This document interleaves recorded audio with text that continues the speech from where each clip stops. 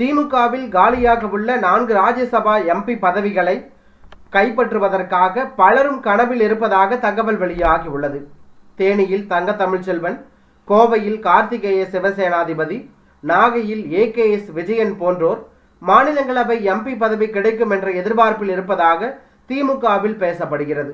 இதில் ஏகேஎஸ் விஜயன் ஆயிரத்தி தொள்ளாயிரத்தி தொண்ணூற்றி ஒன்பது இரண்டாயிரத்தி நாலு இரண்டாயிரத்தி ஒன்பது என மூன்று முறை மக்களவை எம்பியாக இருந்தவர்.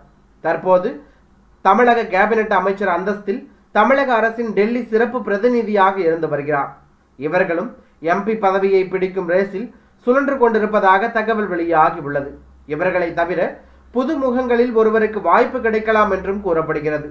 திமுக வட்டாரங்களில் மக்களவை எம்பி தேர்தலுக்கான வேட்பாளர்கள் பற்றி பல்வேறு தகவல்கள் வந்து கொண்டிருக்கின்றன. அதிகாரப்பூர்வ வேட்பாளர்கள் யார் என்பது தேர்தல் தேதி அறிவிக்கப்பட்டவுடன் தெரிந்துவிடும். ஆனால் தங்க தமிழ்ச்செல்வனுக்கு உறுதியாக எம்பி பதவி கிடைக்கும் என்று தற்போது தகவல் வெளியாகியுள்ளது.